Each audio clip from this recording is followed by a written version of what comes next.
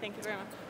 Morning, everyone. So my job is actually the same thing to ask you to take your seats. Um, and we come back all refreshed from last night's uh, presentation where we covered the, the gambit from um, the end of the bimetallic system in 1870 to which is the real football, and, and that was a wide spectrum. We've kind of designed the program the same way, uh, so I won't belabor the point. We've organized things in five sessions. Uh, we're going to start with some of the more sort of immediate and perhaps technical issues and then move out to some of the more wide spectrum long-term sessions towards the end of the day and tomorrow. So with no further ado, because I assume you've seen the program and had a chance to look at the background documentation, I'll turn it over to my friend and colleague, Jim Haley. Jim? Great. Thank you very much, uh, Rohinton, and welcome to all of the, uh, participants, all the panelists. Uh, my job, I think, as chair, is to uh, really facilitate a good discussion amongst the panelists, and I hope we have that this morning. I'm sure we will. Uh, they are all distinguished in their fields. I don't propose to, to go over their biographies and provide formal introductions. Uh, you have the, their, the, the, information in front of you. Um, and let me just begin, however, by trying to motiv motivate a little, uh, a bit, uh, the, the conference and particularly the title. I hope that you find the title slightly enigmatic, uh, five years after the fall. Um, the fall of what? Uh, may come to your mind. Is it uh, the fall of finance, the lords of finance that, that ruled prior to the crisis? Uh, is it the fall of the conventional economic thinking that prevailed prior to the crisis? Is it the fall of the dominance, uh, the leadership of the G7 advanced economies, and uh, which, which now I, I would argue are suffering somewhat from uh, a loss of cachet. The, the, the cachet of their leadership has been sli slightly tarnished. But there's also, I think, uh, some theological overtones, uh, overtones to the title, The Fall. Clearly in Judeo-Christian uh, religion, there's the fall from grace.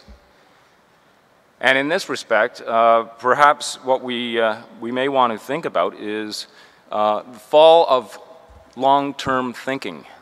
And perhaps prior to the crisis and leading up to the crisis, there was too much focus on the immediate, on the near term. And that is one theme that I have tried to, uh, to articulate in the background paper that I wrote, um, that we are in a very difficult situation with very large adjustment burdens uh, around the world, and that to find a good, sensible, sustainable solution to those adjustment burdens will take medium-term, longer-term thinking and that will impose, I think, uh, discipline, uh, require discipline of our policymakers. We are, I think, um, in a very difficult situation, and I should preface anything I say further by saying the, the views that I hold and uh, that uh, any comments that I make are of my own. They are not, uh, do not reflect the views of the Inter-American Development Bank or the Government of Canada or anyone other than myself. And frankly, I'm not sure I even uh, would even uh, adhere to them if on sober second thought. So, so I ask you to uh, please bear that in mind. But having said that, um, as I say, we are in a very difficult situation. Um, the latest IMF World Economic Outlook has pointed to a marked slowdown uh, around the world and a synchronized slowdown. Uh, we have three key risks that uh, cloud the outlook. The first, of course, the continuing uncertainty, the continuing turbulence in the Eurozone, and uh, concerns of whether, how, when, if Europe will be able to uh, resolve that very, very difficult and very troubling situation.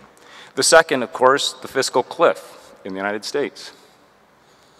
Uh, the, the, election of uh, President Obama hopefully provides some prospect for a resolution, But of course, the uh, political fissures and the cleavages in Congress remain. The election, I forget the amount of money that was spent on the US election, but uh, it returned, in effect, the status quo. So that remains a very serious issue. And the IMF staff also identified a third risk in the wheel, and that is uh, the potential for much higher uh, oil prices uh, arising from geopolitical tensions. So big risks ahead, big risks to confront. And unfortunately, I think the crisis has bequeathed a number of legacies that will make it very difficult indeed to address these risks. And to some extent, these, these legacies reflect the fact that the crisis has morphed over time. It started in the summer of uh, 2007, five years ago, a little more than five years ago, as a financial crisis. By the fall of 2008, it had transformed itself from a financial crisis or a crisis in the financial sector to a crisis in the real economy. And we all know, we remember very clearly, I'm sure, the extent to which output, employment, and trade all fell off the cliff uh, in those very troubling, very dark days of uh, September, October 2008. Of course, there was a policy response. The G20 leaders met in Washington in November of 2008. They met again in London in April 2009. They met in Pittsburgh in September 2009. And arguably, they met the extraordinary circumstances with, ex with an extraordinary response. And as I say in the paper, they heeded the three key lessons of the Great Depression. First, monetary policy provided liquidity when it was needed. Second, there was a fiscal policy response that ensured that fiscal policy did not, did not turn pro-cyclical as it had in the, arguably in the Great Depression. And finally, G20 leaders resisted the natural temptation to impose restrictions on trade uh, and impose protection to preserve employment at home at the expense of shifting the, the burden abroad. Those extraordinary responses averted another Great Depression, but they have, as I say, bequeathed a number of legacies. And those legacies themselves uh, will, I think, going forward, make it difficult to address the risks in the, in the global economy and move from a path of uncertainty to a path of sustainable long-term growth. So the crisis, as I say, has, has morphed from a financial crisis to a crisis of the real economy, and the danger going ahead is that it transforms itself from a crisis of the real economy to a crisis of political economy, as governments around the world, facing enormous adjustment burdens, opt to pursue a path of uh, independence, autonomy, of in, of in effect shifting the burden of adjustment to others, uh, had, as had been the case in the, in the 1930s.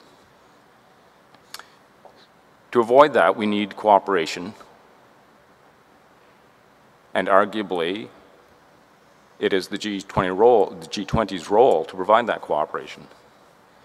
But it is much more difficult today to get the cooperation needed simply because we're no longer facing the common threat. We have economies at different conjunctural positions requiring different policy settings, and in that world, it is much more difficult, I would argue, to get the cooperation that's needed.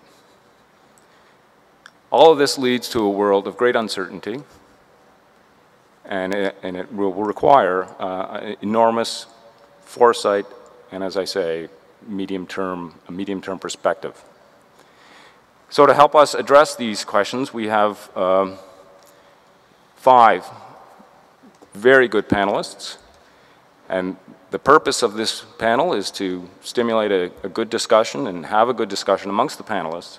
And I propose to do that by going around the table, asking for a five-minute quick intervention. That will be followed by a give and take among the panelists. And then we will open it up to the floor and take uh, questions or comments from the floor. So after long and profound thought, we've arrived at a order and that will begin with uh, John Williamson on my right. And as I say, I'm not going to introduce all of the panelists. They are well known to you all, uh, except to say, John, uh, welcome to CIGI, and over to you. Thank you. Thank you very, thank you very much. Um, I'm going to talk about the three short-term issues that I think confront the G20 uh, which are indeed the issues that Jim Haley just outlined. Uh, first of all, the, let me treat them, however, in somewhat different order, starting with the US fiscal cliff. I, I don't think, last night it was suggested that the world face also an environmental and equity cliffs. And I don't think that's right. Um, environment, we, we essentially, the, the best chance of confronting the environmental threat without uh, disruption was passed over 20 years ago by the US Congress. And uh, there were no consequences for 20 years. And then we've had it. In another 20 years, we shall have regular standards. And then people will begin to worry about climate change. But they're not worried at the moment. So there's no cliff. There's nothing forcing a decision. And the same thing uh, I th think is true with equity. In the case of fiscal cliff, it, it is for it forces a decision um, it, exactly because the, there's a prospect of a, a, recession if we don't do something about it. Uh, whether the G20's uh, lecturing to the US will accomplish anything very much, I doubt. Um, personally, I, I'm in favor of going over the fiscal cliff. I think it offers the probably the best chance of uh, getting uh, US taxes to, to, rise on people who can afford to pay. And if the price of that is a short-term recession, so much the worse. But uh, I think it's probably worth price worth paying. Let me secondly uh, turn to the euro crisis. I think also that one could take the attitude that uh, the G20 is unlikely to have much impact on the euro crisis. It's essentially a German, uh, Germany that calls the shots in Europe. Um, it's clearly uh, not a um, uh, Germany has not proved to be an enlightened citizen in this regard. It uh, pursues wrong policies, but uh, I don't think that there is very much prospect of that being altered by G20 preaching. Um, to give the Germans credit, they are do um, they are willing to pool sovereignty in a way that other countries aren't, and which I think would uh, be an essential aspect of overcoming the crisis. the third uh, uh, issue is that rebalancing. And here I, I, think that the G20 is in a good position, in fact, to uh, give a lead. It, uh, all the countries are, that are involved are represented, unlike in the G8, where it was a case of preaching to the Chinese, who were outside the group. And so there's a big advantage in having a G20 rather than a G8 from this point of view. Um, there's, uh, secondly, th there's, uh, this is a readily comprehensible subject which leaders can understand and can be expected to understand. And I think that sets it aside from, for example, regulation, where I agree that also there's a need for them to call on others to undertake negotiations, but I don't think that they themselves would are likely to contribute much in the way of negotiation. But in the case of uh, the, the uh, rebalancing, that clearly is an international bargain to be struck. Is it likely to be struck? No, I fear not, because uh, the Chinese have dug in their heels, the US has dug in its heels, and uh, it is quite unlikely to be. Uh, but at least it's, it's a possibility that uh, I think bears uh, consideration that this is a subject that is ideally suited for the G20, and if it doesn't come to a conclusion on this, I don't think we have can have very much hope of its future. Thank you very much, John. I'll now turn to Stephen. Uh, Stephen Pickford, thank you. Uh, thanks, Jim, uh, and thanks for the invitation uh, to this this temple of uh, whiskey making. um, you, in advance of this, uh, you said you wouldn't mind having stirring up a bit of controversy. Uh, I suspect uh, John's already done that by by saying we should go over the fiscal cliff. Um, I'm going to try and do a little bit more also on the European side. Um, I mean, Europe is is is fascinating at the moment. Um, I suppose even more fascinating if you don't live there. Um, but the uh, it's it's clearly a huge global problem and a global risk um, because Europe is what 25% of the global economy. Um, Europe as a whole um, saw a GDP loss of 5% uh, in 2009. Uh, the core has just about recovered that loss, the euro core. Uh, the euro periphery has, has fallen some more. Uh, the UK has also uh, is, is much more peripheral-like in that respect. And the forecasts are terrible. If you look at the IMF forecasts and you treat them with a pinch of salt, um, but for 2012 and 2013 together, they're forecasting Italy minus 3%, Spain minus 3%, Portugal minus 4%, Greece minus 10%, and this is off, this is on top of the falls that have already happened, and without uh, fully incorporating any risk of the euro crisis worsening. So this matters. Uh, it matters for the rest of the world because of the linkages, both the trade and the financial linkages.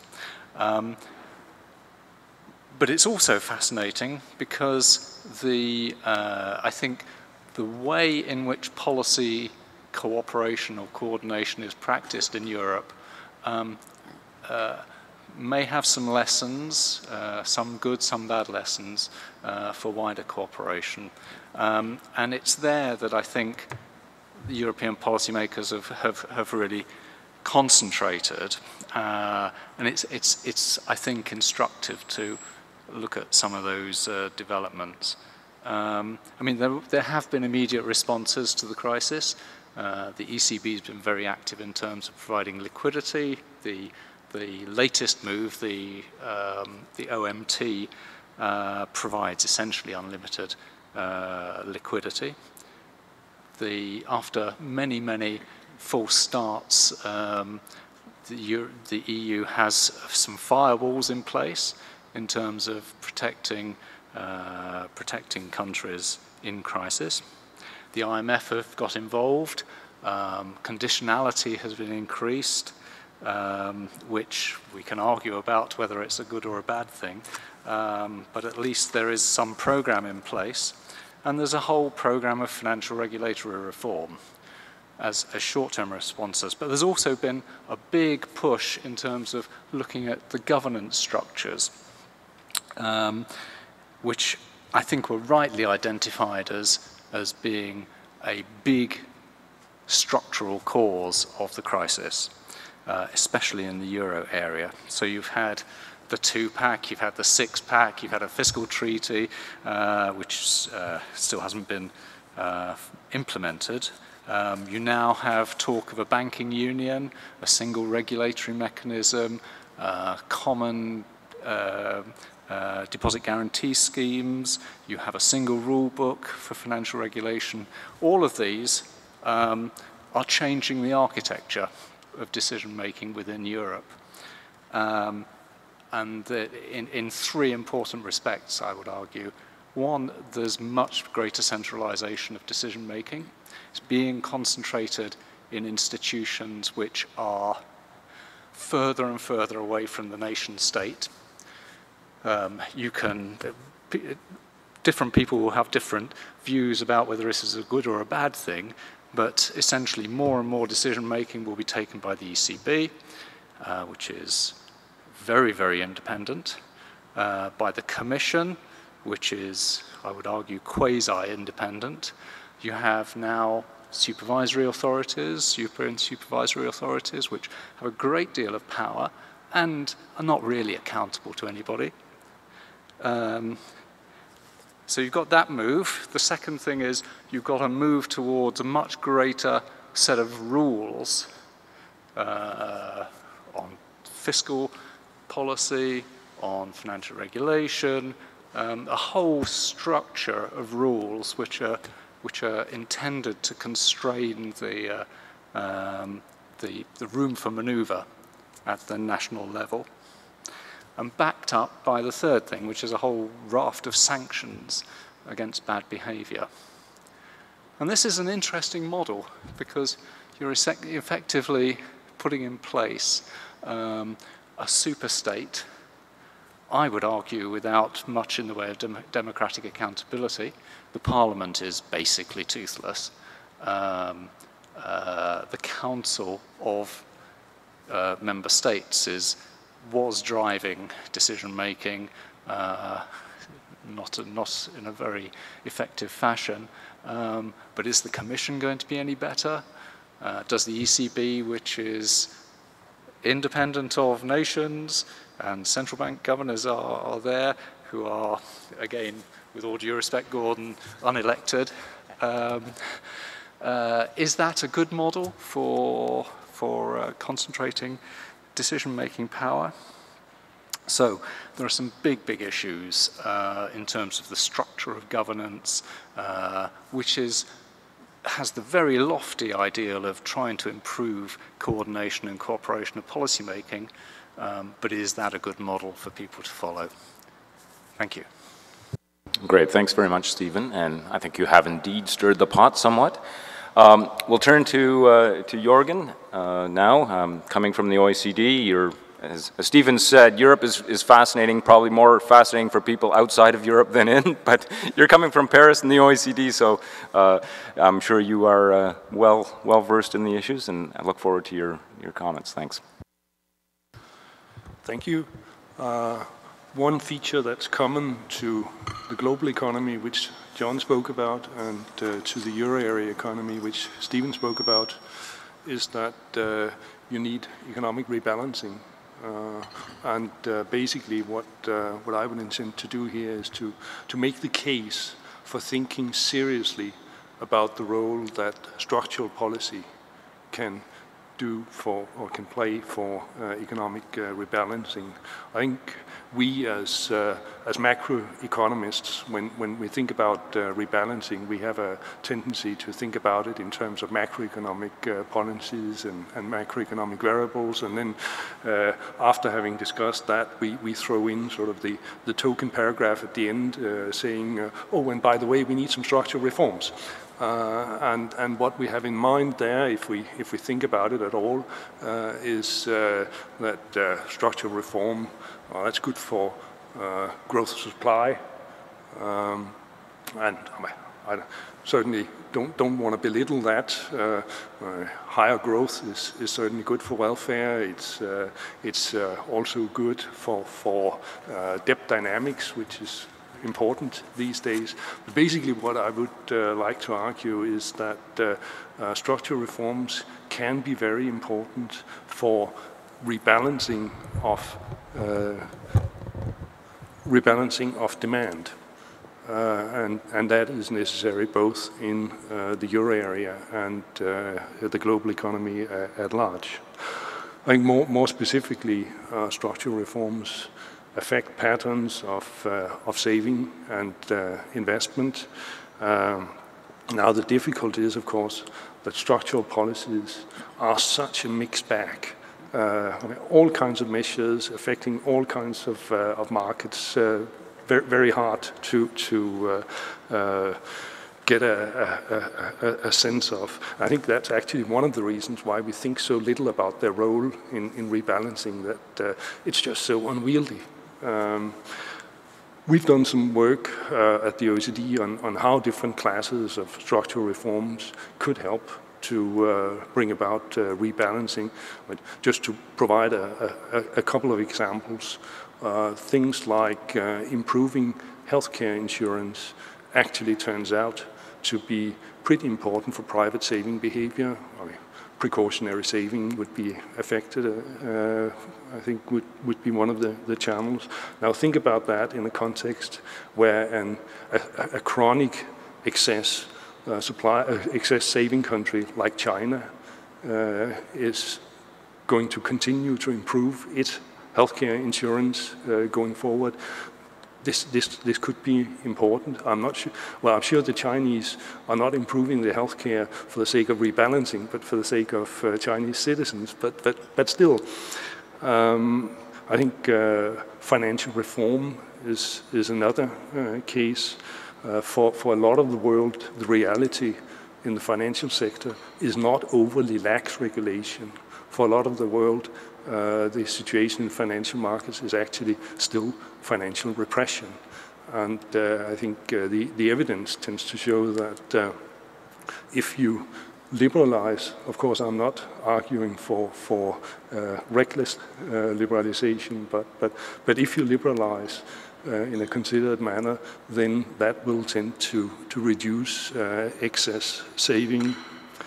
the empirical evidence also suggests that um, uh, tight regulation on a range of uh, service sectors, such as you have it in Germany or Japan, uh, is uh, something that's associated with a higher saving surplus.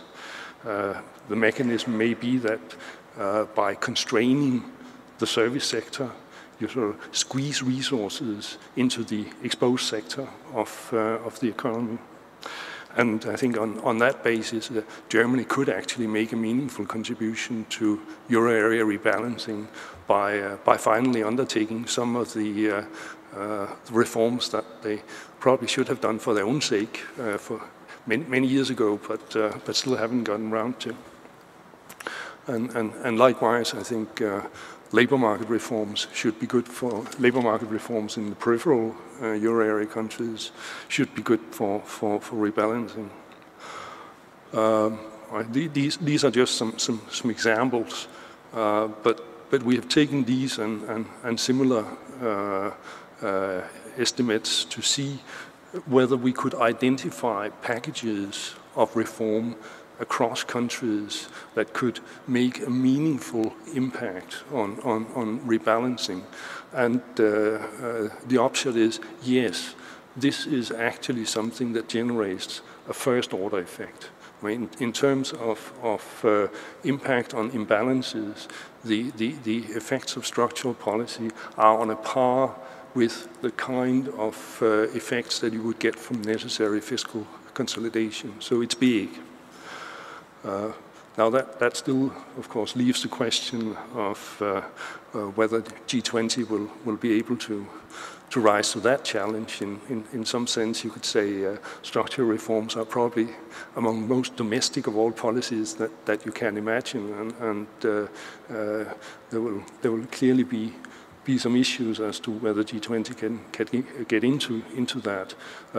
Still, they are on the G20 agenda. It has been decided that uh, one wants to enhance accountability for, for, for structural reform. I think there is a bit of hope there. Thanks. Great. Thank you very much, Jorgen. I'll turn now to Mark Thirlwell. Uh, Mark from Australia has perhaps a slightly different perspective. You're probably the furthest removed from, from Europe. So, so over to you. Thank you, and um, thanks for the opportunity to be here again. Uh, look, I thought I'd talk about two things, um, particularly from the perspective of what we've learned over the last five years. Um, I think you know, two big lessons are about convergence and divergence. Um, convergence is perhaps the, the biggest one, and this is, of course, the, the old and you know, I guess almost tiresomely familiar story now about the rise of emerging markets. Um, and again, if we think just you know, five or maybe a little bit more than that years ago, for example, China's contribution to global growth was still a fraction of that of the United States, whereas this year and next year it's expected to be a multiple. Um, we live in a world of new, of new growth poles, and you know, coming from Australia, that's particularly obvious to us. Where when we look at the, our growth correlations, there's been a very marked shift between you know, what drives our growth and where it comes from.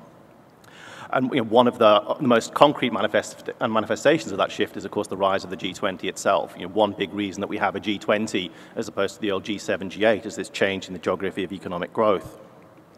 But that's kind of the old lesson. The sort of the, the, the, slightly newer and, and somewhat more worrying lesson is what's been happening to emerging market growth over the last year or so. And we've seen a very marked slowdown, um, including in China, but not restricted there. We've seen very soft growth out of India, very soft growth out of Brazil. Um, and then suddenly we've sort of seen these question marks coming back over, well, what's the actual longer term trajectory of emerging markets? Um, do we have to rethink a, convergence model against this backdrop of a very weak developed economy world? Uh, in a world where the US and the Eurozone and the EU more broadly are growing more weakly, um, does that just mean, uh, is the convergence coefficient, if you like, the same and it's just that the catch-up growth at the frontier, the, the growth at the frontier is slower?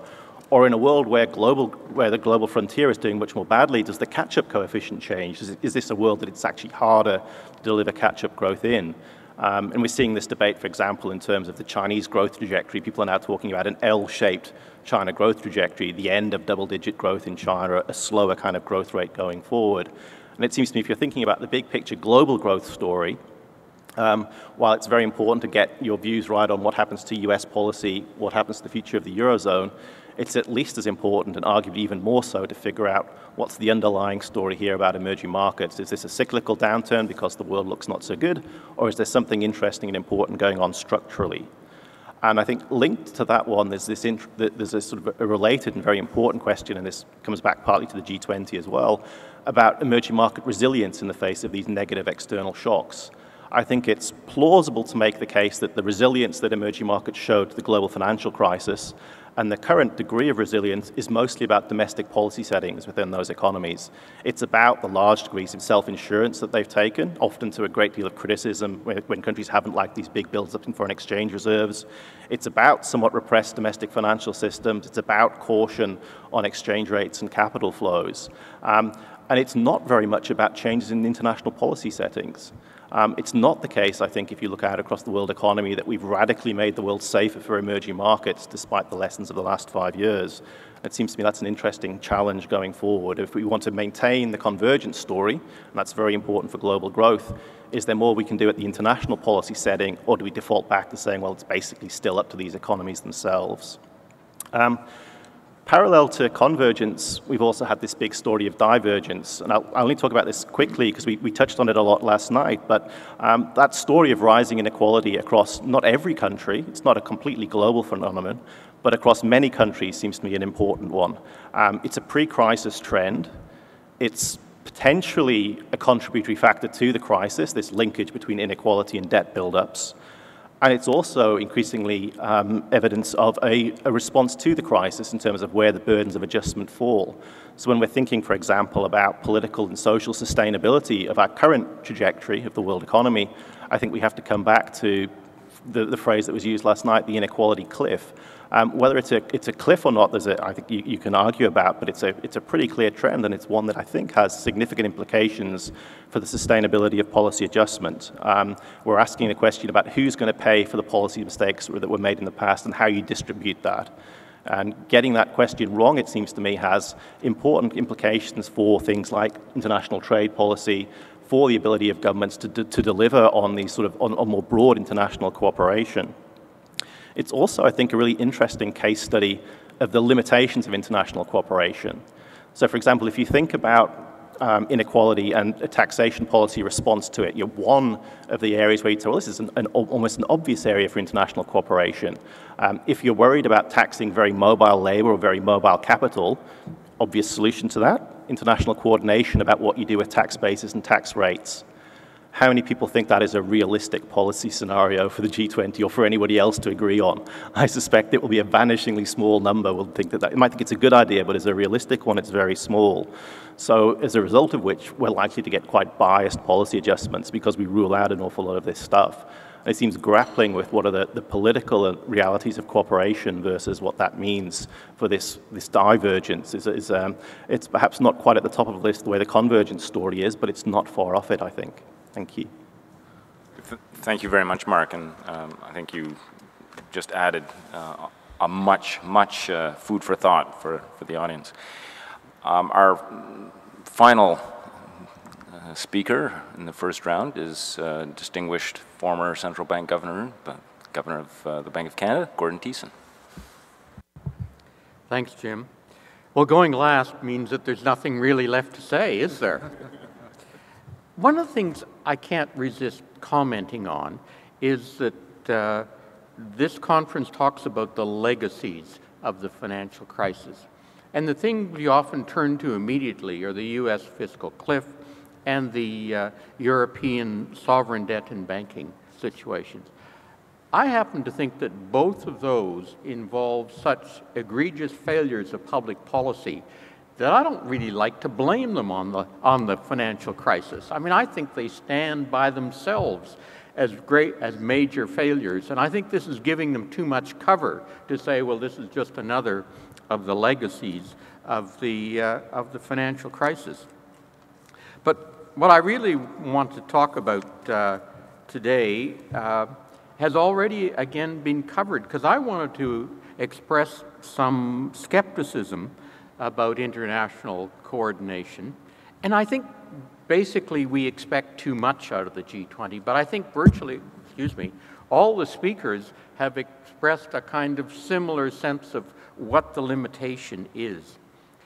You know, in his note, if you read Jim Haley's note, he refers to the late Doug Purvis, who is an, was an academic economist with a remarkable amount of insight into the analysis and construction of public policies.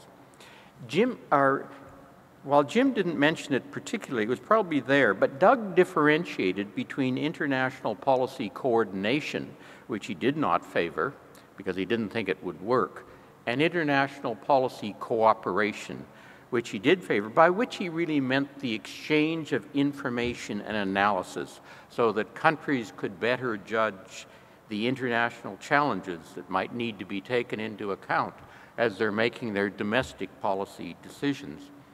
Indeed, I often found myself when the IMF came to Canada for its Article 4 consultations, we have a pretty sophisticated macro policy uh, institutions in Canada, and I'm thinking these guys simply cannot spend the same amount of time on these issues as we can. And I don't know what kind of comparative advantage they bring to come to Canada and comment on it. And I'm sure that's probably true of a large number of other countries.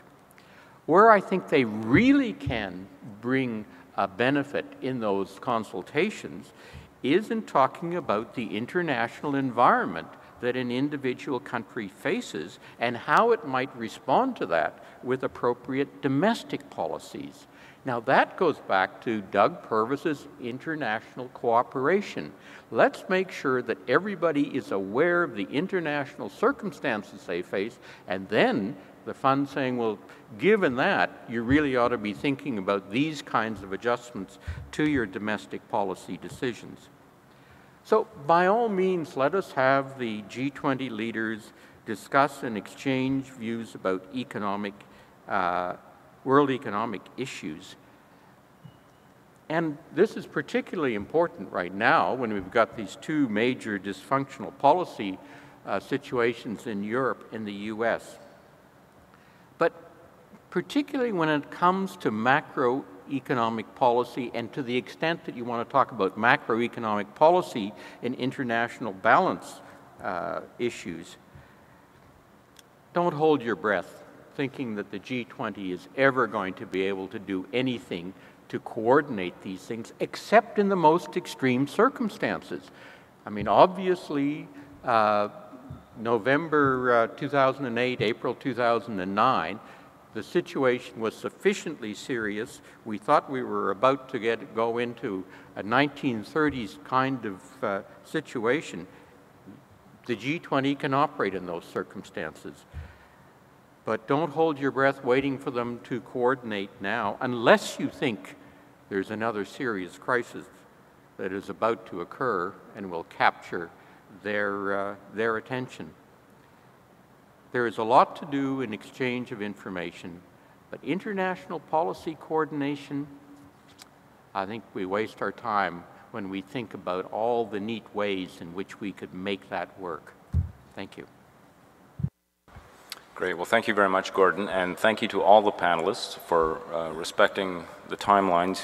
You've done a much better job than your chair.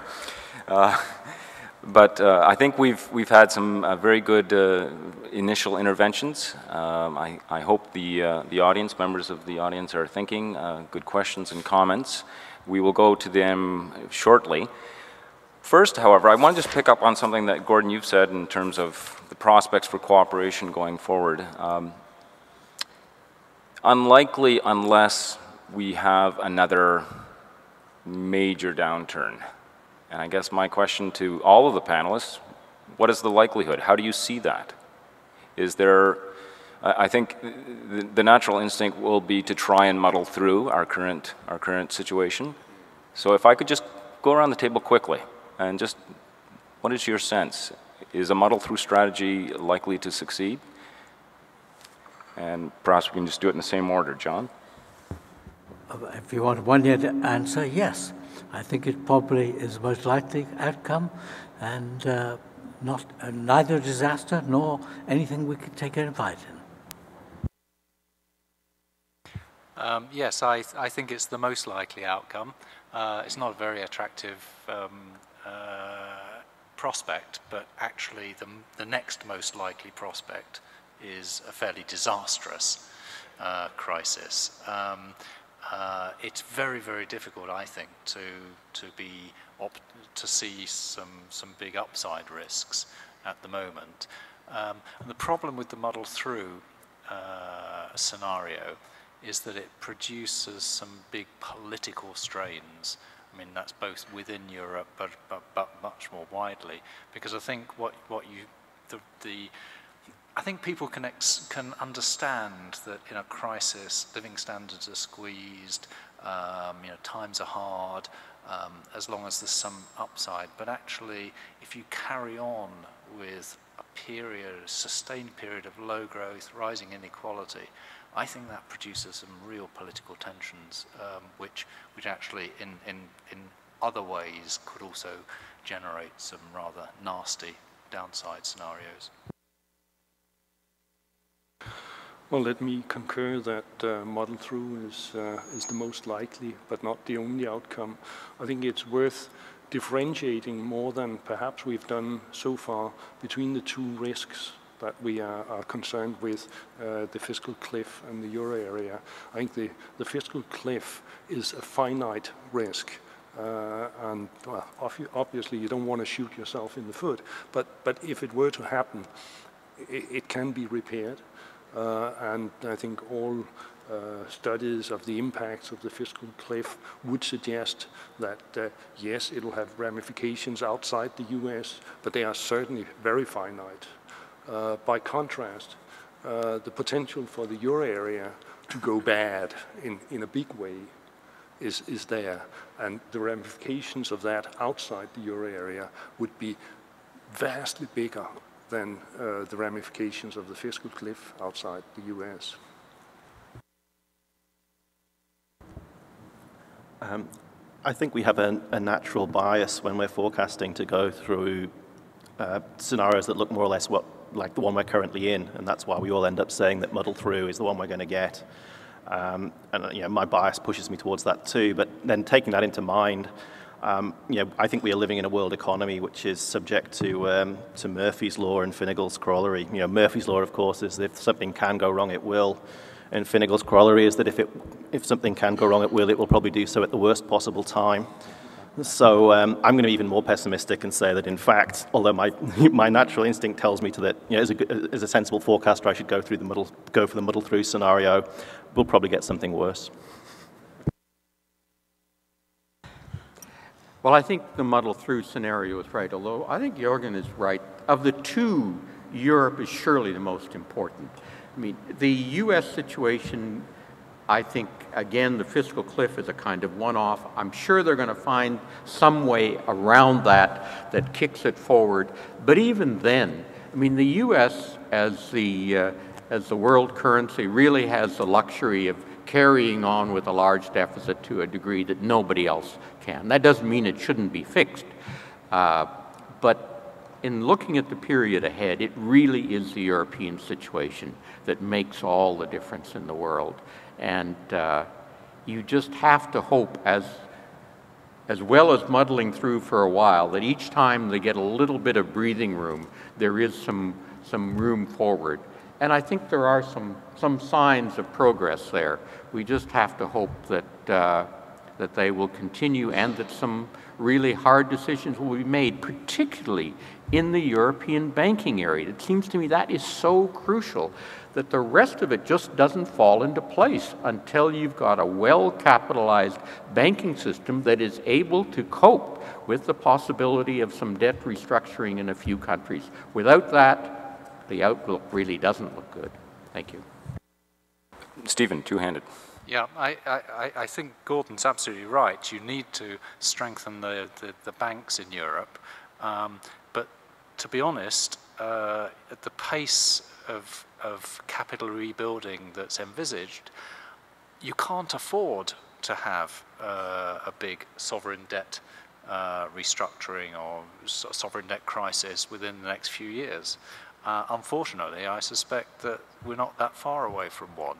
Um, and so you will, I think, be in the situation that um, uh, you end up, the financial implications go straight back onto the, the fiscal balance sheet. Um, and that then raises all the issues about burden sharing uh, between, between the countries, which is, which is at heart the big disagreement within Europe. Who's going to pay for this? Um, and, the and these are difficult issues, which is why they've muddled through. They've tried to muddle through. Um, and they'll continue to try to muddle through. Um, but the problem is also that each time they muddle through, uh, the, the, the, the, um, the market, the favourable market response to every summit, and I think they're up to number 23 or something now, uh, the, the, the, reaction has got shorter and shorter and shorter. So I think the last one, you know, the favourable response lasted less than two hours. Um, and so at some point, the, the, the market discipline uh, will, pr will probably precipitate the crisis which is necessary for the fundamental decisions, but uh, it's not going to be a pain, it's not going to be a pain-free process. Right, well, let's, let's just pursue this a little. Um, the way I look at Europe is in, in the context of Venn diagrams. And, you know, you say there is a set of policies that would work to resolve the crisis and move Europe back to a path of sustainable growth. And then there is a set of policies that are politically feasible. And unfortunately, those two sets, you know, define a null, there, there's a null set between those. Um, and while crisis, as Stephen says, the response time is getting shorter. And while it, as you get to the brink of a crisis, perhaps the set of policies that are politically feasible can shift closer to the policies that might work. Unfortunately, the closer you get to the crisis, the, the set of policies that would resolve the crisis also shifts. So you're not, and I think this, is, this describes Europe over the last two years or three years, that they, there is just this basic fundamental issue, and Stephen, I think you you've highlighted it, uh, and it's very important for this, for CIGI, and that is there's governance failures of a massive, massive sort operating in Europe. And unless Europe can resolve those, uh, we're going to continue to have a source of instability. But what if Europe goes over the cliff? What then? I mean, my worry is that we have adopted extraordinary responses to the, the post-Lehman environment. Central banks have injected liquidity. They've brought interest rates down to zero. They're now pumping out quantitative easing on a massive scale. Fiscal policy did not turn pro-cyclical post-Lehman. But for many advanced economies, they, they are now reaching arguably the upper bound of their capacity to respond. So the question then is, if there is another Lehman-like shock originating in Europe, what and who can respond? What can be done and who, who, will, who will do it? I throw it open to the table. It's very obvious who could respond. It's China. Um, but uh, whether they will is not at all clear. And uh, if the G20 can encourage them, all the good. But uh, I, I, don't uh, think it's so likely. I, I, think the I think the problem also is that this uh, if if you get go if, if Europe goes off the cliff. Um, there are a lot of other things that change as a result. I mean, I don't think the the, the, the, underlying structure of Europe and decision making and the, the power, the, levels of cooperation, or indeed the euro itself, uh, I don't think you can take those as givens anymore.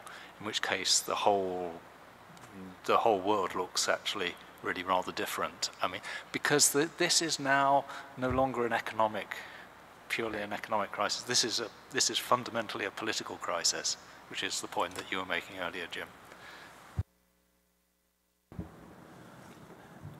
Yeah, I mean, from looking at it from outside, it, it, it's actually pretty scary, right? I mean, it, it's clear that it's, an, it's now a failed experiment, but it's a failed experiment that's held together by the fact that the design of the, the whole thing is that exiting it is even more terrible than living with this almost terminally dysfunctional system.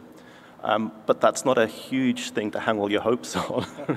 and that's kind of where we're at, which is hence my somewhat pessimistic view. I mean, I, I guess I wanted to pick up two other things. I mean, one, one that Stephen said and, and one that Gordon said. I mean, Stephen's point about you know, the, the Eurozone solution to this stuff, which is to head gradually towards more integration, but to do so by basically pulling control away from the nation state and pulling it away from democratic accountability. Um, I mean, it seems to me it's, at one level, we know why that's the end game and why you almost have to do it but it seems to me it's also a deeply unattractive model. We used to think of the Eurozone as this sort of potentially very attractive model for everybody else to look at. Um, economically, of course, that's no longer the case. But it seems to me that the political scenarios that you're sketching out make it look, starting to look very unattractive too. And I think why that's interesting and also worrying for the rest of us is because one of the big lessons, again, out of the last five years is this age old, right? There's nothing new about this, but we all know about the disconnect between global or regional markets and national polities. And the problem has all been how do you, how do you meld together a global market and, and, and the nation state? Um, and it looks like, for better or for ill, and it may not get there, but the Eurozone is sort of groping its way towards an answer to that question. Um, if, if it doesn't get there, it's really bad news for the rest of us. But if it gets there, it seems to me that the answer is not an attractive one, and that worries me too, because it, it says, well, basically you get rid of, dem- you know, you, you, shrink the democratic space and you pull stuff off to a lot of unelected technocrats. You know, it's nice if you're a technocrat, it's not so nice for the rest of us. Um, uh, Gordon's point, which sort of leaks into the Euro thing, was about, you know, the nature of how, how dysfunctional policy settings have been recently um, in, in, both in the Eurozone and also in the United States. And again, and if you think about again, this is a, a crisis legacy question too. Um, when you have countries in the G20, um, often the usual suspects, telling those countries that did, haven't had, yet had crises that this is what you should be doing for your policy response. So for example, telling Asia that this is the way you should be running your economy. Is it any surprise that Asian policymakers think, well, wait a minute, you know, do we really listen to you guys? Uh, uh is, is, uh, you're not doing a great job running your own economies. Is your policy advice really that sensible? And we should be heading right down these routes that you're telling us to. So it, it's probably not a surprise when we think that you know if, if China or other regional economies are a bit cautious about taking the policy advice that's coming at them at the moment. You know, we shouldn't be surprised by that. On that, I think we should hear from someone representing the Organization for Economic Cooperation and Development, Jorgen. Thank you for that. Um, let, let, me just start with uh, Mark's uh, remark that uh, it is now clear that the euro is a failed uh, experiment. I, I, would argue that uh, the jury is actually still out on, on, on that.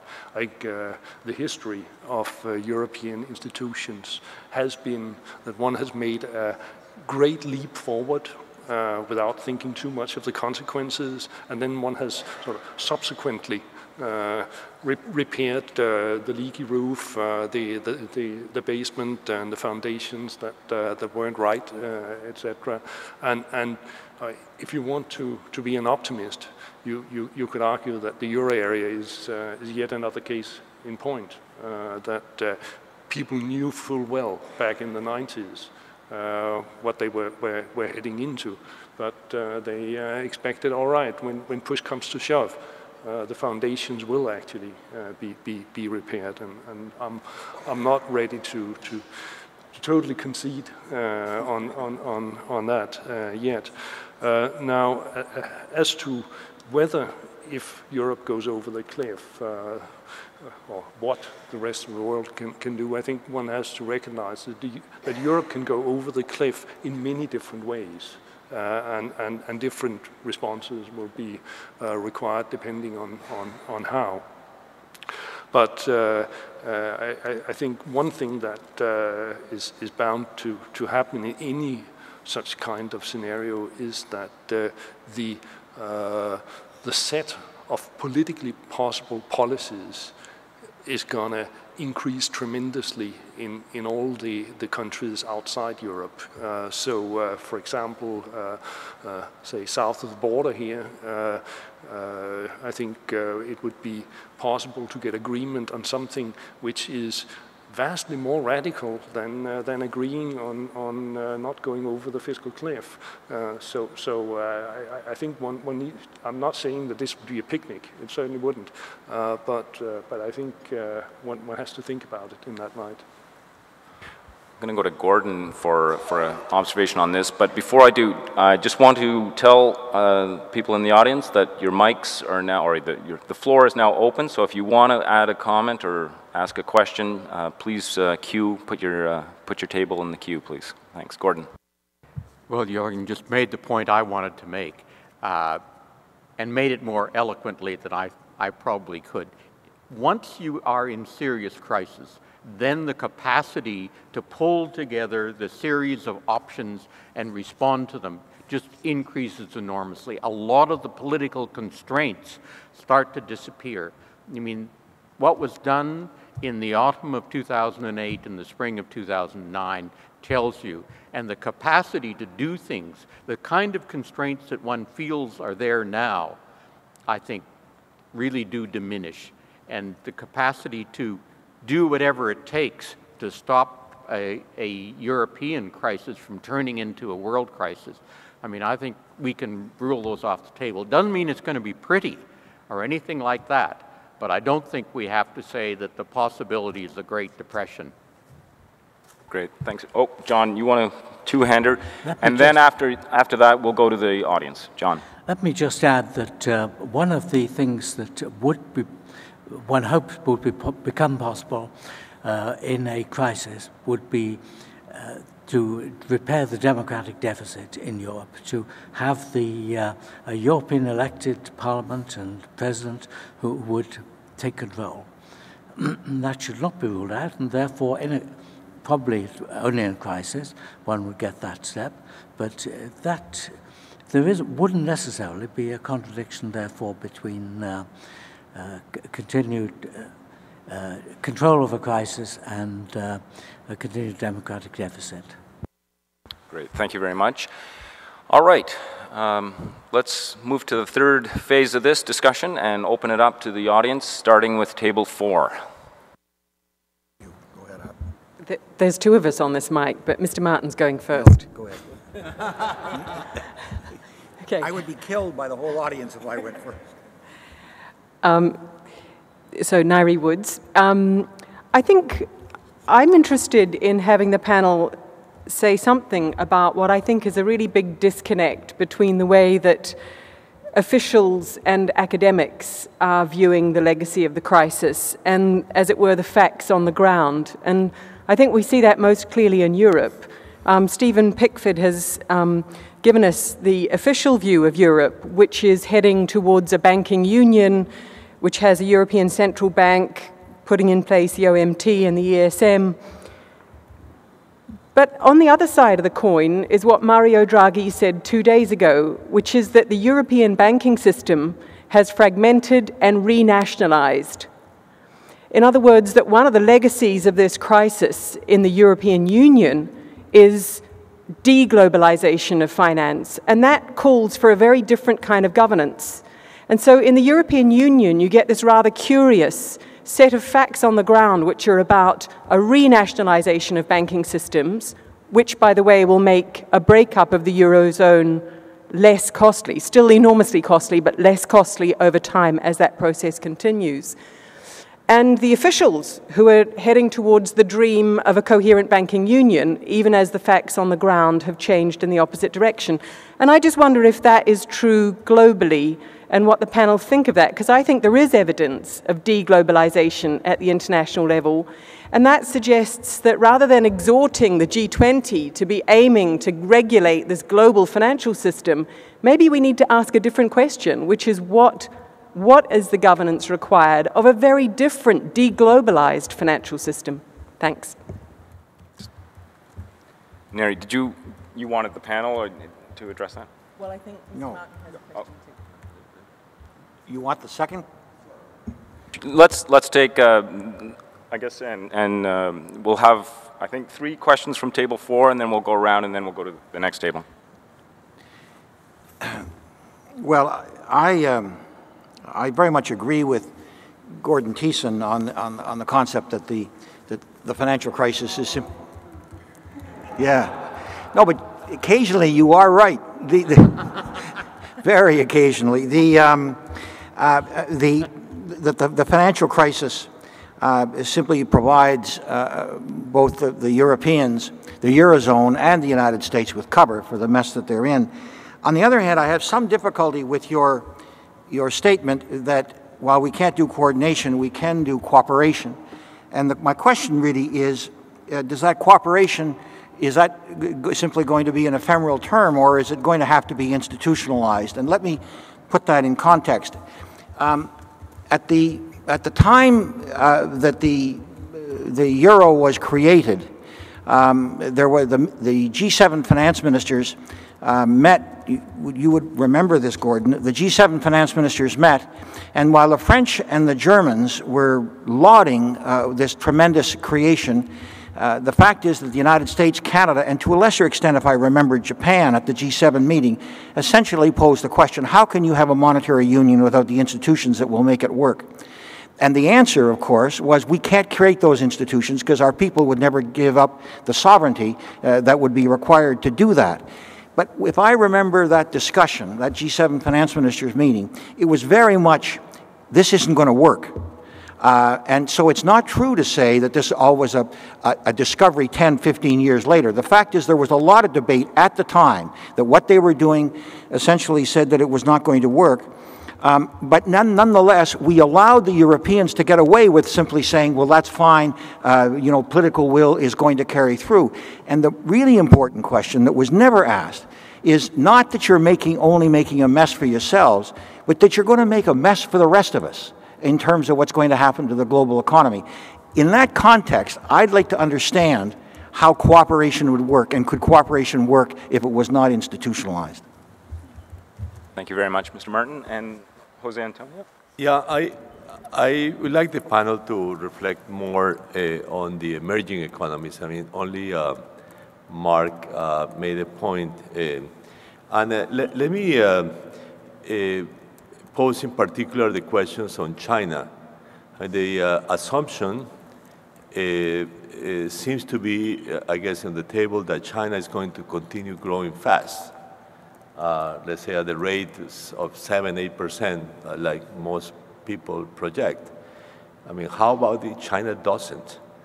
Uh, are there not sufficient structural problems in the Chinese economy uh, to uh, that you know will face uh, more you know could face more significant problems. I mean, in this transition of leadership, one of the more outstanding issues is the lack of decisions, and and which may reflect a broader problem that they, they really think they have much less alternatives uh, than, uh, than they have.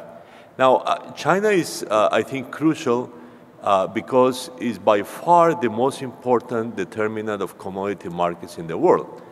And the, you know, you see the world, you know, it is commodity producers that have, you know, performed relatively well, including the industrial country commodity producers like Canada. Uh, uh, but it's also Australia, it's New Zealand, uh, I mean, go around, uh, uh, is Norway. so the, if, uh, and not to say, you know, South America or Africa or you know, the Middle East, you know, uh, which are all commodity producers. So, so if China, you know, on, you know, uh, falls significantly in terms of growth, there might be a major disruption in commodity markets that have worldwide implications. Great, thanks very much. Um, so very quickly, I mean, Neri has asked about the disconnect between official academics and, and the, the deglobalization of finance in Europe.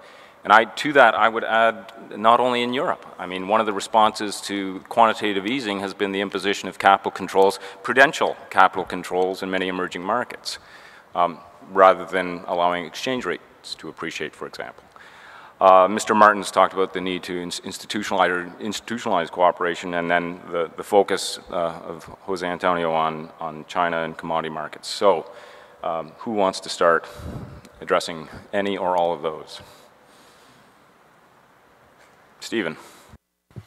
Um, I'll try and be brief. Firstly, on Nairi's point, I've never, I, I, I, take a slightly jaundiced view of banking union. I don't see it as, as primarily aimed at completing the, um, the single market in financial services, um, which, as you say, has, has the, banking has become renationalized, which is a real problem for the Eastern European states because they didn't have their own banks.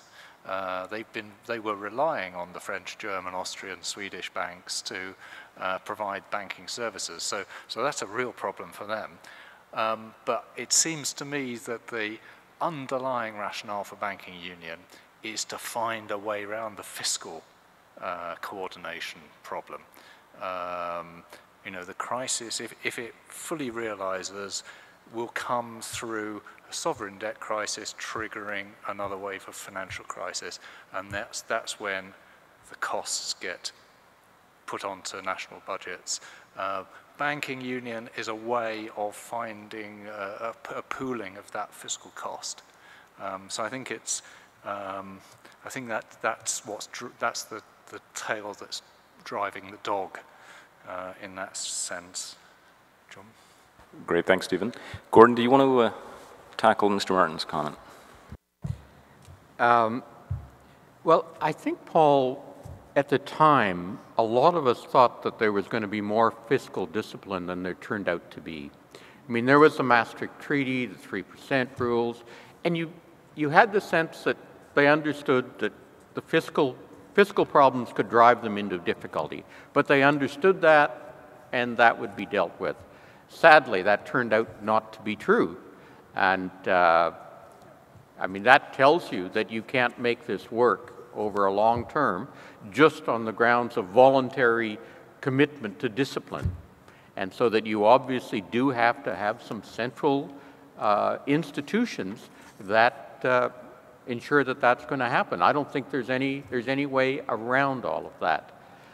But I wasn't sure, Paul, whether you wanted to talk more generally about international cooperation in there, because a lot of this stuff really is, in a sense, domestic.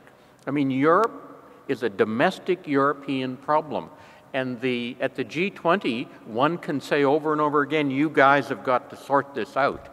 But it is a domestic European problem, and they have to fix it. And now it is true that if they don't fix it, that there's a spillover to the rest of the world. But that doesn't mean that the rest of the world can somehow make the, the Europeans fix this problem. They have to fix it. He wants a two-hander.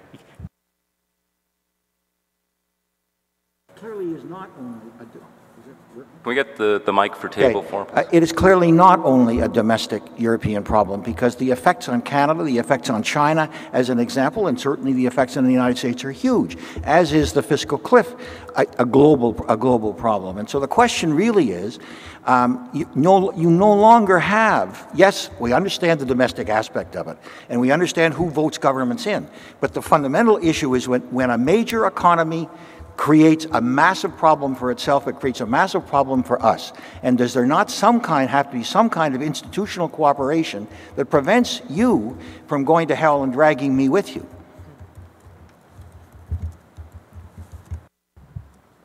Ideally, yes.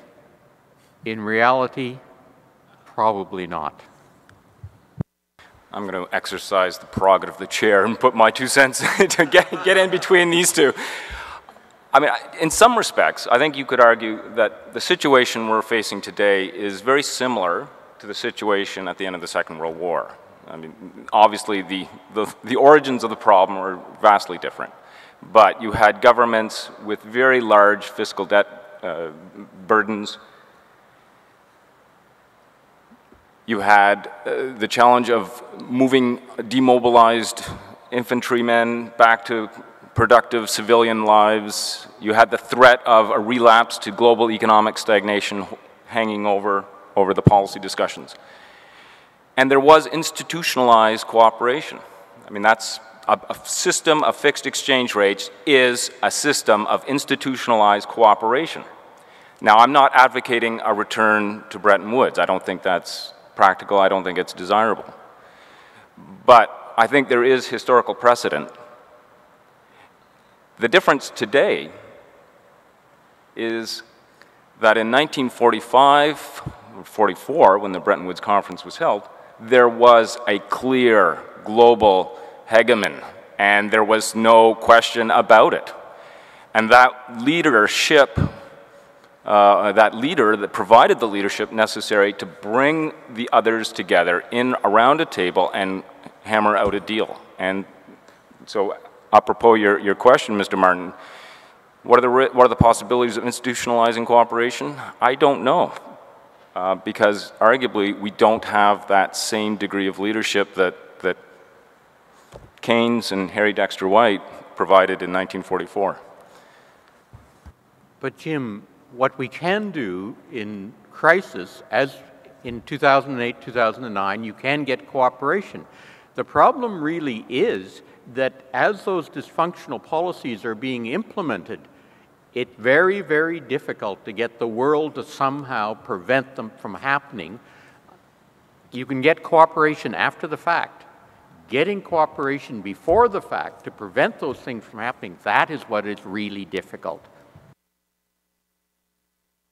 Um, yeah, it seems to me that uh, with, in the absence of a hegemon, which Jim rightly points out, uh, you are in a world where um, you are trying to find softer ways of persuading countries to do the right thing. Uh, and those are it, it, helps if doing the right thing is the right thing both for the country itself and for the rest of the world. Uh, it isn't always the case, although the US used to argue that it was in their case. Um, uh, but uh, so, so you're into mechanisms such as peer pressure, naming and shaming, these softer forms which um, you hope work, but I, I can't see um, I, I, can't see having formal structures in place which are going to um, uh, impinge on national sovereignty in this respect. Can I, can I just say one more thing about China? Because Jose Antonio has raised a very important issue here. I kind of also see this as mainly a national problem. Um, you're right that if China slows down, um, the rest of the world suffers to some extent through trade linkages, um, uh, although actually, you know, many countries would welcome uh, having a slightly better balance of payments position as a result. Um, and also, uh, they quite like to have lower commodity prices if they don't produce them themselves.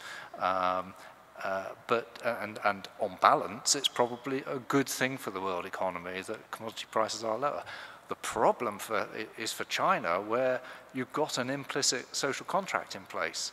You know, the Communist Party will deliver growth uh, and increases in living standards. If it can't do that, then I think there's some huge uh, economic and political implications for China itself.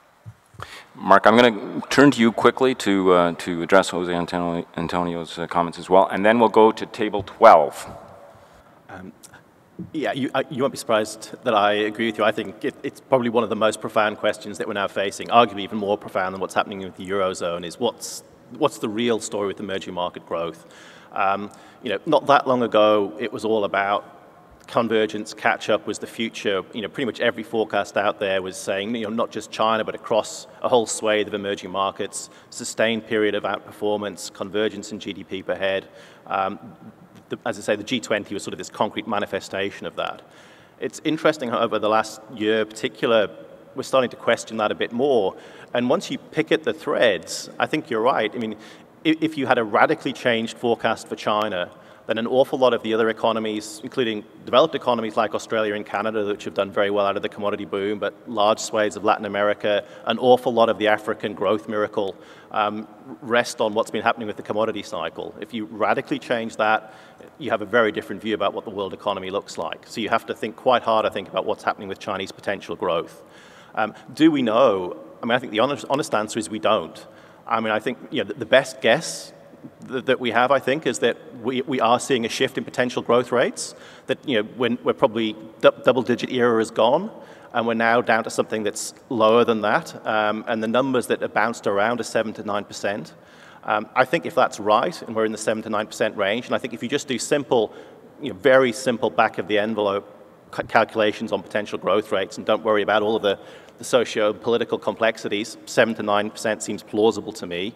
Um, that's operating now in a much bigger Chinese economy. That's still going to be enough to make things look reasonably okay in the rest of the world and the story's intact. If you get something that's much softer than that, um, then I think things look very different. And we do start to rethink about our views for, for the world economy. In particular, this fundamental one about, you know, we, have had this story for a while. In, in, Australia, we've talked about it a lot, about a fundamental change in relative prices in the world economy. In other words, in a world economy where a lot of what used to be the world's poorer people are urbanizing and industrializing at a rapid rate, you know, that's a world economy where the relative price of resources is higher. Um, if you pull that story away, then you, you, you, live in a world economy where the relative price looks quite different. And, you know, as you said, for big resource importers, that's maybe good news. For those of us who are commodity exporters, much less so. Great, thanks. Quick uh, observation from your.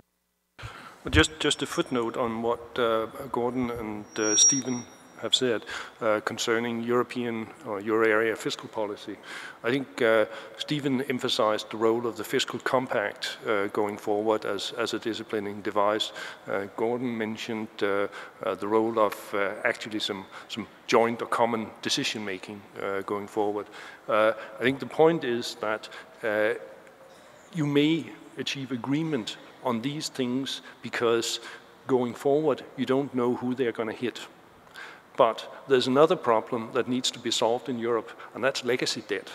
And, and the difficulty with legacy debt is that you know exactly who it is that you redistribute in favor of and away from. Yeah. Okay, uh, table 12, please.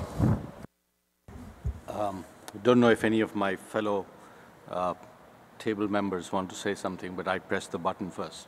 Uh, so, uh, three quick, uh, three quick questions slash comments on on Europe. Uh, would the panel uh, perhaps elaborate a little bit more on the nature of European risk?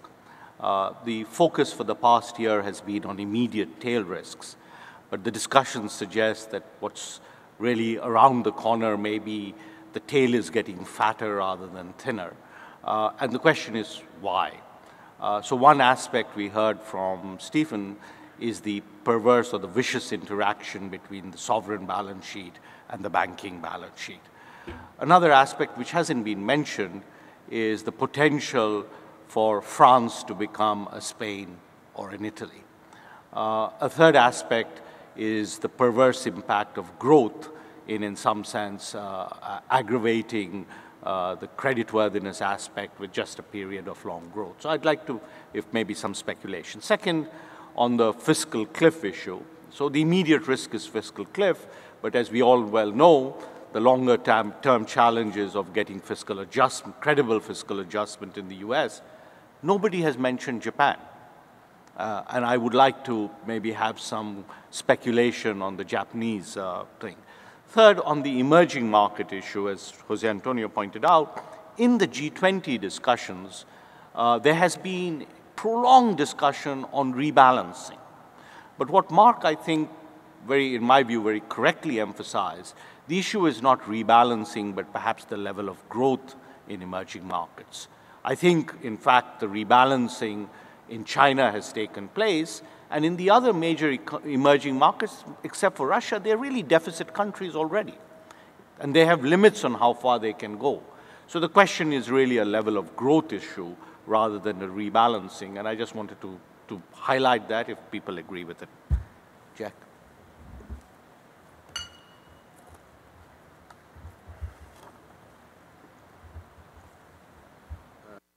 Mike, thank you. Uh, let me go to Gordon's interesting question. How do you get cooperation before the fact? Uh, I will si sound a little bit naive, I suppose, if I say you can try to do it through better surveillance. Whether that surveillance takes place in the context of the G20, which I wouldn't favor, or it takes place in a reinvigorated IMF, which I would favor. Uh, and there's ways of bringing that together that I'll talk about a little bit this afternoon. Uh, but in order to do that uh, quickly, the surveillance, the content of surveillance has to be far more specific than it has been. And the content of comment, public comment, by groups like the G20 has to be much more forthcoming than it has been. The protection that exists, the peer protection that exists within those groups and indeed within the IMF as well, has to change. How do you do that? I think you do it by getting the surveillance content more specific, one of the things we did in a, something called the Emerging Markets Forum that Paul knows about is to construct an index of resilience. And we did it first for the emerging market countries. In this latest round, we did it as well for the European countries. Our data only goes back to 1997. But this resilience index shows the resilience of Greece, Italy, Ireland, Spain, Portugal, in a virtual monotonic decline since 1997, since the beginning of the data that we have available. If there's more focus on that kind of thing, that's a 14, that's a 13, 12 year lead time. Seeing these, the resilience of these countries deteriorate significantly. And you can identify the kinds of policies, domestic policies, uh, that were causing that deterioration. Something like that needs to be done. The other, going to Gordon's other comment, the spillover exercise that's beginning isn't much yet, but it certainly is a way of going to exactly the kind of thing the fund should be making a contribution to, and that is bringing the impact of a given country's policies on the rest of the world and back again. Great, thanks, Jack. We have table six, three, and 11 with uh, in the queue. I'm closing it after that, and I'm going to ask um, both uh, people asking questions and the panel to be very brief and succinct in, in response, just so everyone gets a, gets a chance to, to hear, uh, hear the questions that are on the table. Um, maybe we'll go to table six and then uh, ask for responses. So table six. Yeah. You, Lourdes. Lourdes. Uh, hello, I'm Lourdes Aranda. Uh, I will be very brief. Uh, my experience from the last year is that uh, as much as I share with, with Paul the idea that this has to have a cooperation basis and that we have to work together, uh, there's a complete reluctance from the Europeans to accept the spillover effect of the euro crisis in other countries. I mean, they just are very, very on the defensive. They don't want to talk about it, and they say, it's our problem. This is not to be de dealt in the G20. And as much as we tell them yes, but we show them the facts how what is happening, how it's affecting the emerging markets and uh, exchange rates and, and trade, and uh, they, they say it's an internal problem. So that's when really you say, what was G20 for? I mean, the idea uh, in 2008 is let's cooperate and work out of this together. But if, if, there you are, if you are in denial, it's very hard to do it. So uh, we are very much involved in domestic issues, uh, the German elections, um, so, they, I mean, the, the, they're very, very on the defensive. And then the, about the idea of China maybe coming to the rescue, uh, I do see China uh, very reluctant to get involved in these issues. So um, I think some of the suggestions are, are valid. We have a lack of leadership. And I think we started the G20 with this uh, esprit de corps. Everybody wanted to get out of the crisis and let's work together and unfortunately we've lost it in the way, and, and it's unfortunate because I don't, I don't believe we have gotten out of the crisis from 2008. We're still very much in the middle, and, and I don't know how we are going to get out of it. I'm, I'm comfortable that uh, with the U.S. election, the, the, I mean, President Obama has been involved in the process. Uh, my, my opinion is that he's a little bit fed up of it, but that, I mean, this is what we have, the G20, and we have to work with it. So I hope uh, we can go back to the initial spirit. Great, thank you. Um, Tom or Colin? Someone else? Thank you very much. A spectacular start for this uh, several days of discussions, so hats off to all six of you for doing that. Um, I wanted to go back to uh, the juxtaposition of John Williamson's comment that re rebalancing is ideally suited for the G20 and Gordon Thiessen's comment that don't hold your breath that coordination can take place under the G20. And I would like to address myself to the responsibility and implications of all this discussion for ourselves, for the think tanks that are in the room, um, and our relationships with each other. I mean, I think, just quickly, that one of the unique things that has happened in, since 2008 is that for the first time, global summitry has evolved with a consistent group of think tanks continuously involved with the G20, namely all of us in this room and others. We have had access, we've had influence, and we have voice. And it has been beneficial, I think, as a bridge between civil society and the officials. But I think we have to, what I would like to suggest is we have to ask more of ourselves now. We have to ask ourselves, shouldn't we toughen up our game? Shouldn't we try harder to, to serve not only as a bridge, but as an accountability mechanism for the G20? And shouldn't we, since we know about these issues, press harder to make them happen? So we know enough about rebalancing, for example, to be realistic enough to hold Gordon's position. But since we know how important it is to the rest of the world and to our own countries, that rebalancing is essential, that there are answers, that don't we need to put some fire under ourselves, work together to come up with surveillance of the surveillance, if you like, so that we're holding that process feet to the fire to deliver what is admittedly a hugely difficult outcome of coordinated outcomes. So I'm going to raise this again throughout our days here, but I just wanted to sort of throw this out on the table. George. Thanks. Thanks. I'm going to follow um, that idea because um, I first asked for the floor. Turned out I was not familiar with the technique, so I only pressed it after. Uh, Tom, thanks for um, helping me on that. Uh, uh, you know, picturing Europe or any other country or situation in the world as damned if I do, damned if I don't, don't like that. So, you know, the dismal science is something we all practice, but we do want to see a way out. And uh, I understand the difficulties in Europe. I uh, still say I signed the Maastricht Treaty, and I don't regret it, because there's issues where you need more Europe. They have been pointed out. What has been less clear is better Europe, better functioning. In this regard, the statement by Jürgen, I think, was very appropriate because it shows both the need and the difficulty to have a narrative of structural reforms. Uh, Mario Monti, for example, when he was commissioner on the internal market, tried. Nobody could see, understand. You, you, you see the 3%, you see the 10%, you don't see how to do that narrative. Now that's work for surveillance. So I come in defense of the naming and faming and shaming of the Wim Kok report. I come in defense of peer pressure. I come in defense of surveillance and what Borman said. I think that's very appropriate. This idea of surveillance of surveillance makes me, makes me dream. What, what would that be like? But it's a good idea. And lastly, uh, in honor of heroes past, uh, Triffin was already mentioned yesterday. Today, Purvis, whom I really liked, was also mentioned.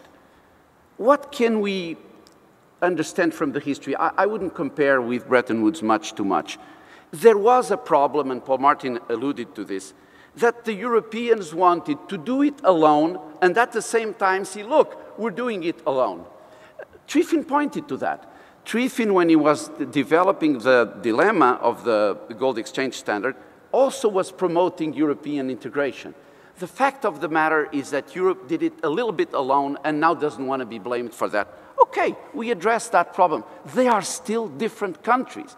And the single market is partly threatened by the banking union. It's a very technical issue. We don't have uh, time to go into it, but there are really two sides. One is banking and sovereign risk, that's one side, doesn't have to do with the single market. But then there is a dimension of the single market. Again, Monti uh, saw that. So this is a defense of uh, the Europeans. Um, they are bad, but hey, so is everybody else. Great, thank you very much.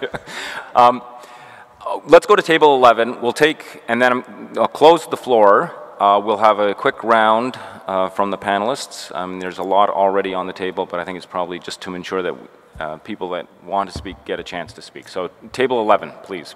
Okay, thank you. Uh, Memduh Karakullukçu from Istanbul, Turkey. I may be rephrasing the rebalancing growth point, but let me have a go at it. I mean, we think the global imbalances is the underlying problem. And when I think about global imbalances, I think about really integrating large population segments into, in Asia, into the global trading system. I think that's what we've been struggling with for a few decades now. And I think in my mind, reserve accumulation is the knob which we use to adjust the pace of that integration that Chinese authorities especially have been using very effectively. And finance, it seems, allowed the high pace of that absorption to be absorbed for a longer period than was possible. So if that's roughly, at least that's in my mind, roughly the story, my question is, where we are, is this about really taking care of accumulated costs and burdens of absorbing hundreds of millions into the global trading system?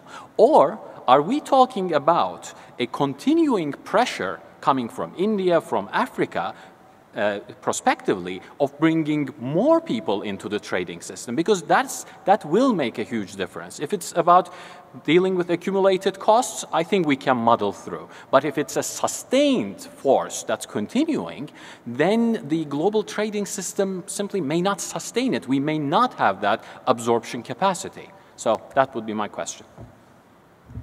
Right. Well, we uh, certainly have a, a very uh wide range of, of, questions and comments, and I'm, to be honest, I'm not sure where to begin. Uh, but let's, let's try and, and pick up, uh, start with Amar's uh, three quick uh, hits here. We've got Europe, what are the real risks? The US fiscal cliff, everyone talks about the US cliff, but what about Japan? And uh, where do the emerging markets play in in all of this? Who wants to, to pick those up quickly? John? Well, let me try uh, two of them at any rate, the last two. Um, I, I don't think the tail, risks are increasing. I, think that uh, in Europe, uh, sorry, I'm going to comment on all th three, I guess. Um, it seems to me that uh, the risks have increased and uh, the risks of uh, the goods outcome have also increased. And so it's not just tail risks that have increased. We used to think of Europe as a stable area, and we don't any longer. And I think that's uh, a, a serious worry. Uh, secondly, on Japan, uh, once again, I think it, of it as a, uh, a muddle through scenario seems to me to be the, by far most likely, and indeed it could be worse. Uh, the third, uh, on the rebalancing issue, uh, here I uh, to also take on board uh, Colin. I, I think, incidentally, uh, apropos the last remark, I think that rebalancing means essentially uh, shifting demand away from those who've been running large surpluses towards the advanced countries which have been at large deficits. I don't see it as the same as uh, absorbing new workers into the world labour force. I think that's also a problem, but it's a much more manageable problem. I don't see it as a similar sort of problem. Um, for, for, China, I don't think the rebalancing process is complete. I accept your point on, well, at least two of the other uh, BRICs. Um, but uh, in the case of China, they, they still have a surplus. It's still large. It's forecast to get larger, and and that's uh, with an underlying capital inflow, the long-term capital inflow is still into China. And so I really don't see that problem has been resolved um, as yet. Great. Great. Thanks very much, John. Uh, Jorgen? Let me uh, just return on, on the Japan point, uh, and start with a very brief, I promise you, uh, anecdote, uh, which is that uh, when uh, house prices rose throughout the OECD area all the way through the 2000s, we, we kept warning about these increases in, in house prices, and yet they continued increasing. And eventually, we sort of had a fair bit of, of self-doubt. Uh, were, were, were, our models actually wrong? Uh, and I remember even having been on the receiving end of some snide remarks from Stephen at, at, at the time. uh, but but, but be, be, be that as it may, as it may uh, we then uh, actually toned down our warnings on the house prices just about the time when, when, when, when they were uh, collapsing. Uh, now, on Japan, we have been warning about the Japan situation for quite a while. Uh, nothing has happened. Uh, I think, uh, given the parallel with, with the uh, housing market, we probably should continue warning about Japan. but, but there's one thing about uh, Japan that I, I, think is worth keeping in mind. They start with a low tax pressure, and, and, and, that actually does make things a little bit easier. But still, I agree the challenges are daunting. Yeah, to on, on Japan, I mean, the, it's often cited that you know it's debt owed to themselves. But to, to use a Bill White, to, to invoke a Bill Whiteism it is until it isn't, in which case, I mean, there's, unless they impose capital controls at some point, people that want to hold another asset will hold another asset. Uh, Stephen, do you want to pick up some of these questions? Uh, only very briefly. And on Japan, um, we, I guess we all warned that 150% uh, debt to GDP ratio was a problem, and then 180 was an even bigger problem. It's now 250. Um, you do tend, you do kind of start to worry if the crisis that you're predicting doesn't happen. But I think Jørgen's right. Um, you need to keep keep warning about that because uh, at some point uncomfortable fis fiscal arithmetic does bite. On the European issues that Amar raised, I, it seems to me that they are actually pretty much all interrelated. Uh, I think it's um, I think it's wrong to try to um, tease out the different uh, the different risks because I think um, ultimately it's it's a system problem uh, and whether things pop up as fiscal problems or financial problems or regulatory issues or um, uh, creditworthiness issues they're all kind of part of the same problem. Thanks Stephen. Mark do you want to tackle these? Um, yeah, I'll pick up on Amar's uh, points. I mean, I think, yeah, two of them. I mean, the, the first one, which, which I think is important to remember, is yeah, emerging markets do differ, and there are plenty of emerging markets that are, that are deficit countries, not, not just surplus countries. Um, so you've got to be careful when you're talking about rebalancing. And I think linked to that, and it, it, it's one of the points that I made in my original five minutes, is that many emerging market policymakers continue to worry about volatile capital flows, dangers of sudden stops, th those kinds of issues, and hence the attractions of self-insurance and reserve accumulation, you know, are, are going to continue to be there. On China, where they you know, they have more than enough reserves in terms of self-insurance and, and, and, then some. Um, I mean, I think it's fair to say China is rebalancing. I mean, I think the, the policy shift that we're seeing, and in particular the change in growth rates, is part of that process. And I think that it's important not to underestimate how difficult that that potentially is. Um, that you're change, you, know, you are changing what was a very successful growth model, and you're doing it at a time when you, you have to do it because the rest of the world has changed around you, but you're doing it at a time when the rest of the world looks extremely volatile and in an extremely risky place. And there are plenty of domestic challenges for China trying to do that rebalancing. So um, I don't think we should be surprised that they're doing it cautiously and slowly and at times falteringly. And actually, we should probably applaud the caution because the last thing that the world economy needs right now is something to go badly wrong in China. So, a, a cautious policy rebalancing is actually not a bad thing for all of us. Uh, Gordon, if you want, I'm not. I'm I just, I just wanted to uh, say that the notion of think tanks supporting the kind of analysis that the IMF could be doing to, whether it's name or shame, whatever, I think that is all helpful. I, while I'm very uh, skeptical about real coordination, the notion that those issues are out there, and it's not just a fund, it's somebody else as well supporting all of that, I think that's, that's good and that's potentially helpful. And it should make Paul Martin feel better. Uh, let me just pick up on uh, a couple of things that Amar said. One on the European question. And I think, um, to me, the real risk, the real danger from Europe is, is really another post Lehman kind of environment. And I think what made Lehman so, so damaging, so destructive, was um, Akerlof's market for lemons. That suddenly you had a whole lot of institutions that were holding a whole lot of paper, and they suddenly woke up, and, and you know the managers, the portfolios managers, woke up and they said one day and said, "I don't know what I'm holding." And of course, if you don't know what you're holding, you don't know what somebody else is holding. And that led to the complete freeze up, the complete seizure of the financial system. And of course, because it was centered in the United States, that is, that is why it was truly a global systemic problem.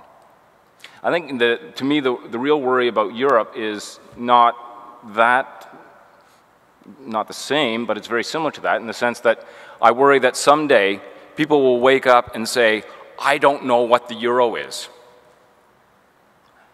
And because there are millions, billions, trillions of contracts denominated in euros, if that day happens and people suddenly wake up and say, I really don't know whether the euro is going to survive, whether it survives in what form, um, that is, to me, that's the real nightmare scenario.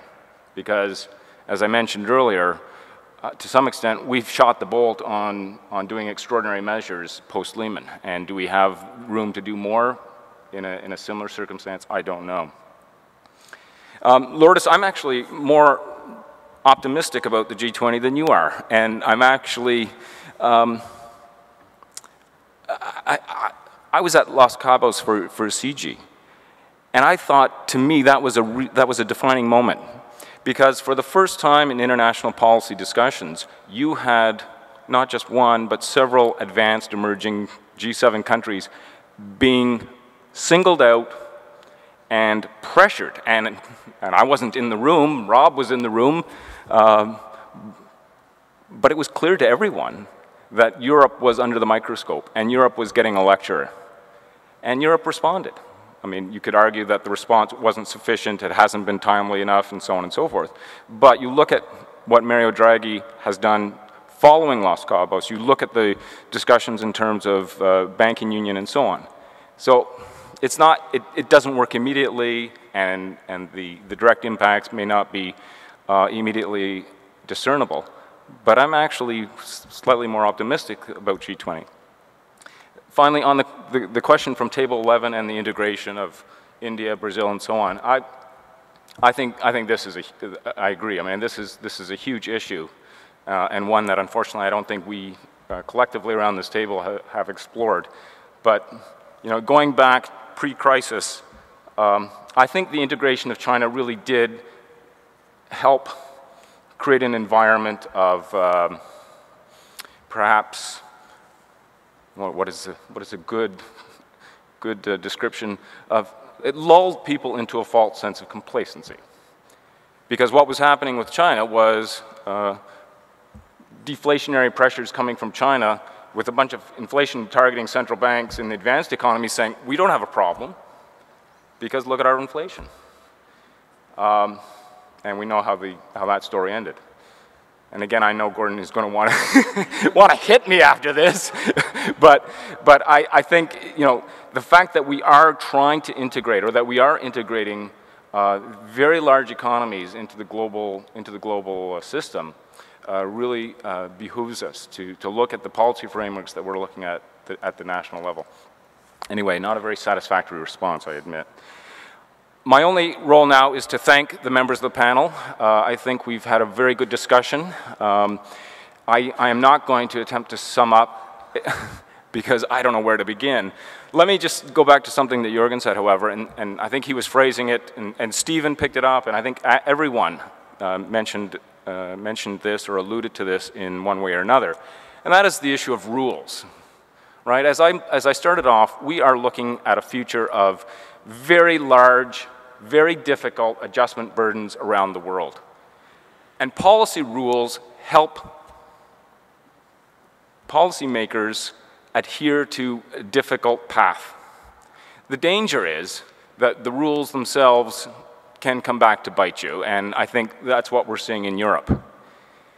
And so the, the challenge, I think, uh, going forward will be to try and ensure that we have the right rules with the right escape clauses so that when you come to these, uh, when you experience large shocks, you have a response that is sufficiently flexible that you don't end up in a situation that Europe is unfortunately in today, where essentially the full burden of adjustment is through internal, quote unquote, to use, to use uh, uh, the, the metaphor, you know, through internal devaluation, which of course means pushing down wages to restore, regain competitiveness. But to do that, you've got to drive unemployment up. And Jorgen will no, no, doubt say structural reforms can help in that process, and I agree. But uh, I think you know, we're, we're, looking at a world where we have very large adjustment burdens. They have to be shared uh, in the very broadest possible terms, and we have to have very forward-looking policymakers. So that's the challenge. That's, I think we've, we've addressed that, and I thank you all, and I thank members of the audience for the, uh, for the questions and the comments. We have gone over time. I've been instructed to say that the next session begins at 11 o'clock, and if I can ask you to join in a round of applause for the panelists. Thanks very much.